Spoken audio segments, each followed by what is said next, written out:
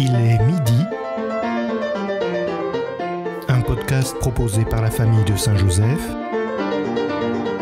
et présenté par le frère Dominique Joseph. Autre tentative d'essayer de nous introduire dans le mystère de la Trinité en tant qu'il est concret, en tant qu'il concerne notre vie quotidienne, tournons-nous vers Saint Thomas d'Aquin et écoutons-le nous expliquer la communion trinitaire. Nous nous représentons facilement deux personnes en communion parce que nous en avons fait l'expérience, nous en avons été témoins. Ça n'est pas sans rapport, saint Augustin nous l'a appris, avec la réalité de la vie trinitaire. Seulement, il faut faire attention, dans la Trinité, ce ne sont pas trois personnes qui sont en relation, mais trois relations qui sont personnelles. Prenons deux personnes qui vivent dans une communion d'amour, typiquement des époux.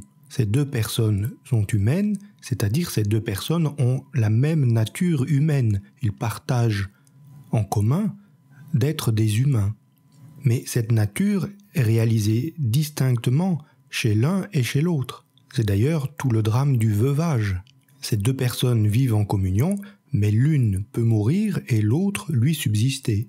Or, les personnes divines, au sein de la Trinité ont une unité substantielle. C'est-à-dire que ils ont bien la même nature, le Père est Dieu, le Fils est Dieu, le Saint-Esprit est Dieu, mais ils sont la même nature, c'est-à-dire numériquement ils sont identiques. On dit qu'ils sont consubstantiels, c'est-à-dire que le Fils ne peut pas disparaître et le Père lui survivre, ou l'Esprit Saint ne peut pas disparaître et le Fils lui survivre. Ils sont dans une unité substantielle. Et cette unité est caractérisée par une communion dans l'amour, c'est-à-dire que le Père et le Fils sont unis dans leur amour commun qui est le Saint-Esprit. Ils forment une communauté d'amour, une société d'amour. Et cette société, cette communauté, c'est la personne du Saint-Esprit. Eh bien, ce mystère ne nous est pas étranger. Encore une fois, la Trinité n'est pas une abstraction inventée par les philosophes et les théologiens, et qui ne concernerait que ceux qui sont capables de comprendre leurs ouvrages difficiles. Pourquoi? Eh bien parce que ces deux aspects sont donnés à l'Église par participation, bien sûr. Les baptisés participent à l'unité substantielle des personnes divines par la grâce de leur baptême. La grâce nous fait participer à la nature divine.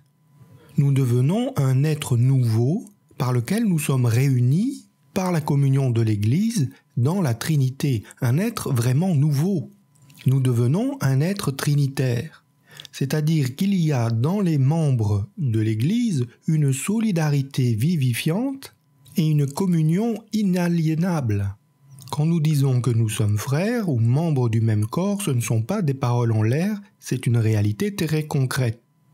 Bien sûr, cela reste difficile à comprendre ou à imaginer, et je crois qu'on peut en trouver un exemple dans la vie de l'au-delà, où cette communion spirituelle manifestera sa dimension corporelle, c'est-à-dire nous serons un d'une manière que nous ne pouvons pas nous représenter et qui établira une solidarité entre nous jusque dans nos corps.